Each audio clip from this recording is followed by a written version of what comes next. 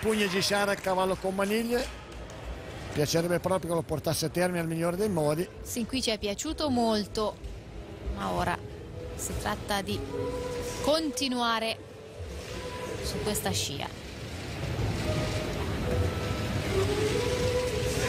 Buono il ritmo, buona l'esecuzione e soprattutto buono, buona la linea del corpo nei suoi mulinelli che è essenziale per, ecco, non faccio tempo a finire un commento, Insomma, si piega un braccio e cade.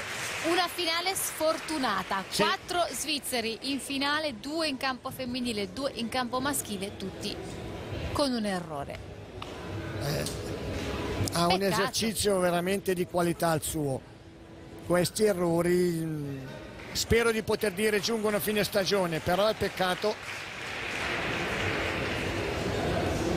che finisca bene quantomeno. Eh no, eh. Non ne ha più.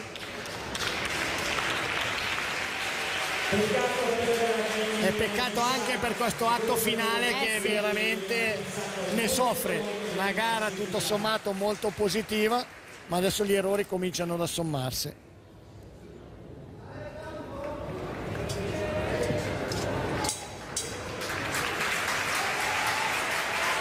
Sostenuto dal pubblico, Benjamin Gishard ci riprova. Deve chiudere l'esercizio.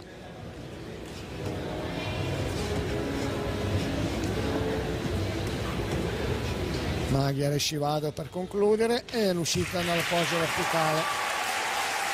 Ti assicuro che il suo esercizio è ottimo nei contenuti, però purtroppo ha avuto un blackout imperdonabile.